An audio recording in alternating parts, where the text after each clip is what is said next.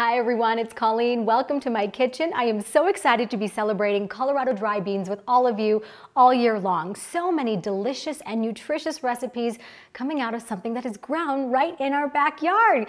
Colorado beans, they are so tasty and they're beautiful, bright, vibrant colors.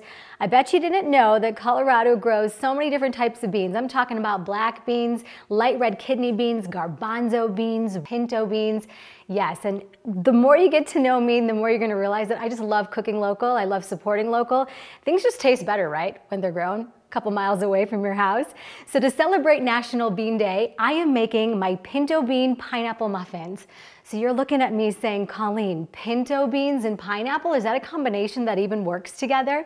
Trust me on it. It works and they taste so good. And it packs these muffins in with a lot of protein and fiber for those little kids' tummies to keep them full and happy all day long. So let's start with my beans. Here are my beautiful pinto beans that have been soaking overnight.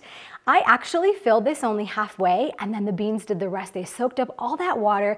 My kids love to do this with me. We fill it up we fill it up with water, right? And we wake up in the morning and the kids say, oh my gosh, the beans grew. So fun activity to do with the kids before you start making these muffins.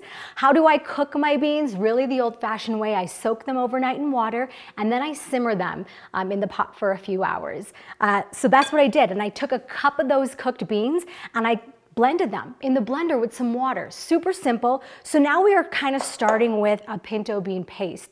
That's gonna be the base of these muffins. Into that, I am adding in just some crushed pineapple, really simple, super sweet, but also super delicious. Uh, of course, some butter. What's a muffin? A baked good with some good old-fashioned butter to go in there. For the sweetness in here, I'm adding in maple syrup. The pineapple is already pretty sweet as it is. You don't need a whole lot of this, but some pure maple syrup really gonna go a long way in these very muffins. Of course, just some vanilla extract and then some eggs to bind everything together. Super simple. And there we go. Those are all the wet ingredients for this muffin. Stirring it up right over here. So I usually have a pound of dry beans a week that I cook up for the, for the family, right? And I do something different every week. Some week it's garbanzo, some week it's red beans, other week it's pinto beans. And what I do is after I simmer them, um, I kind of use them as we go along for the week. Sometimes I'll sneak them in the kids' smoothies. Uh, pinto beans, sometimes they're so mild. Garbanzo beans too, that you can throw a little handful in there. The kids will never know. Uh, then I like to add them to breakfast tacos. I like to add them to curries.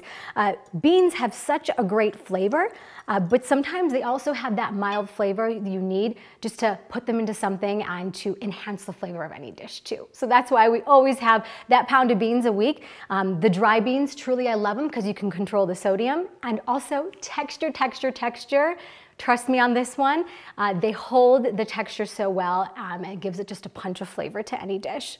Okay, my dry ingredients, super simple. I have some flour here. I have some cinnamon, some baking soda, and some salt.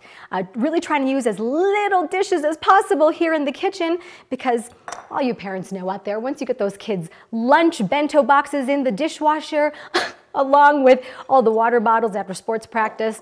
I just try to use as little as possible to keep things to a minimum. All right, that's it. Combining this, I like to add in some chocolate chips sometimes, maybe some raisins, some pecans, toasted coconut, gosh, the add-ins to this muffin are really endless because when you have the fiber and the protein from the pinto beans along with the texture of the crushed pineapple in there, anything really goes well with the flavors and textures happening over here. My son loves to use this as a recharge. Uh, they are so good for you that I let him have a couple after hockey practice. Um, you know, on the way to swim practice. Uh, my daughter loves to have them for breakfast. So this is something that we keep a dozen in the freezer at all times so I can just pop them out and give it to the kids. And here they are, super beautiful. Um, sometimes as a treat, I like to top it with a little frosting. You could even put a little chocolate spread on top. Possibilities are endless, and that's why we love beans, right? Cool beans. That is gonna be the theme of my kitchen all year long. So I hope you'll join me. We're gonna have so much fun together and kind of discover so many new recipes when it comes to Colorado dry beans. I'm gonna share this recipe with you at coloradodrybeans.org, and don't forget to follow along with us on social media.